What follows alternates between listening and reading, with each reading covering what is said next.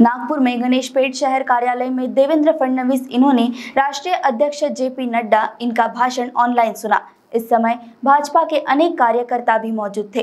पूर्व मुख्यमंत्री देवेंद्र फडणवीस, प्रदेश महामंत्री चंद्रशेखर बावनकुले, आमदार शहर अध्यक्ष प्रवीण दटके, आमदार रामदास आंबटकर, इन्होंने भी इस समय जेपी नड्डा का भाषण सुना। सरकारला आठ वर्ष पूर्ण होत आहेत.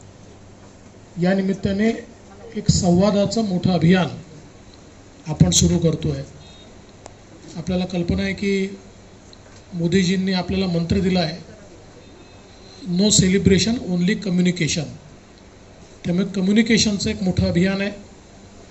आणि या अभियानाचाच एक भाग म्हणून आपण सशक्त बूथ अभियान देखील सुरू करतो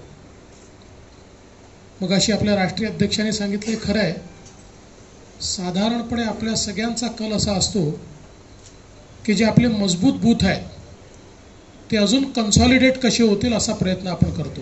वीकेबी न्यूज़ के लिए कैमरा पर्सन रोशन बोकड़े के साथ ऐश्वर्या शिंदे की रिपोर्ट। बॉस ने मीटिंग बुलाई। क्या यार? आदमी की तकलीफ़ को तो समझो।